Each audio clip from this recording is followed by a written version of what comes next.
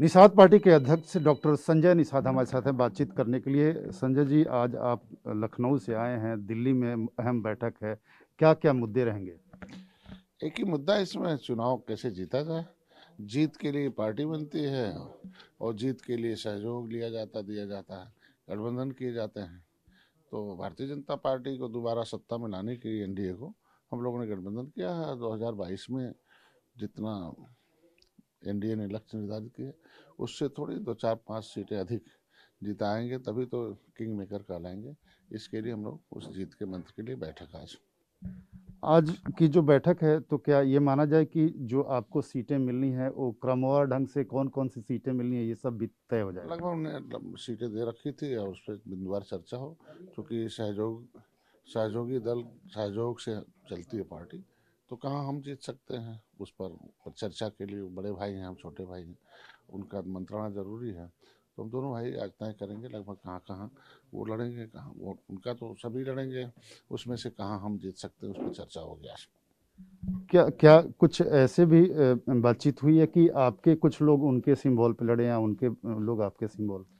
निश्चित रूप से क्योंकि उनका सिंबल हमारा सिंबल बटा नहीं है, लेकिन चूँकि पार्टी अलग है, इसलिए उसका एक पहचान है। एनडीए घटक का हम लड़े तो ज़्यादातर सीटें, नब्बे परसेंट सीटें हम निषाद पार्टी अपनी भोजन भरी थाली पर लड़ेगी। दो चार सीटें ऐसी जहाँ है टेक्निकल की भोजन भरी थाली से वोट सारे नहीं ट्रांसफ़र होंगे, लेकिन कैंडिडेट हमारा होगा।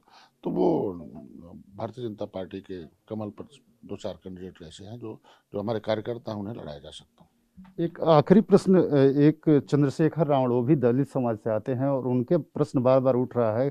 अखिलेश यादव से उनको निराशा हाथ लगी है। आपने ऑफ़र दिया है। सत्तर साल से निराश है ना ये दलित। निराश है तभी तो दलित है दल दल में है। पिछली सरकारों ने निराश किया। कैसे दलितों पर अत्याचार हुआ है? सत्तर साल से ये सब दुनिया देख रही है। सपा की भी सरकार रही है, तभी दलितों पर अत्याचार रहा, चाहे कांग्रेस की सरकार रही है। रावण भाई को मैं धन्यवाद दूँगा, कम से कम दलितों के नेतृत्व के लिए वो आगे आए हैं और मैं उन्हें आमंत्रित करता हूँ और दरवाज़ा खुला है वो आए और जिस तरीके से माननीय मोदी जी का एक सपना है कि सबका साथ, सबका विकास, सबका विश्वास तो निश्चित रूप से बिना भेदभाव के। पिछली सरकारें थी कि हाथी के चंगू मंगू हीरे थे, गाँव की जनता ज़ीरो थी, उनके ही दलित दलदल में रह गए और Satish Satish Mishra and company hero हो गए।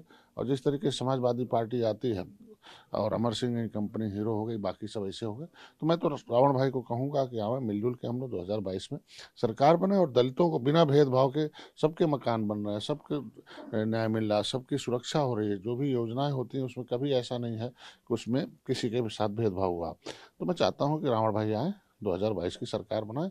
और पिछले जितने भी सरकार सत्ता के जो सताए गए लोग हैं उन्हें सुख दिया जाए। इस, बाबत क्या आपकी कोई बीजेपी शीर्ष नेतृत्व से बातचीत हुई है कि रावण को लिया जाना चाहिए? नहीं क्योंकि हम लोग गठबंधन दल के नेता और हम एक सहयोगी दल हैं और बड़े भाई हम छोटे भाई हम तो चाहते हैं कि जो भी हमारे सहयोग के लिए आए और जो सताए हुए लोगों का नेतृत्व करता है उसको साथ लेना आवश्यक मतलब उसके साथ मिले तो और अच्छी बात है।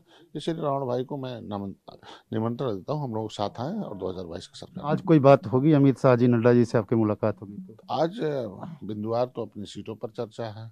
कहाँ जीत सकते हैं उस पर चर्चा है। कौन लोग आ रहे हैं कौन को जो उपेक्षित हैं नाम के सताए जा रहे हैं, समाज भी सताया जा रहा है, उनके नेता भी दूसरी पार्टियों में सत्ता रहे सताए गए। तो ऐसे सभी लोग भारतीय जनता पार्टी में और लोग भी आएँगे और उनके लिए बातचीत होगी किसे किसे, किस तरह से आना चाहते हैं लोग। बहुत बहुत धन्यवाद। आमोदरा है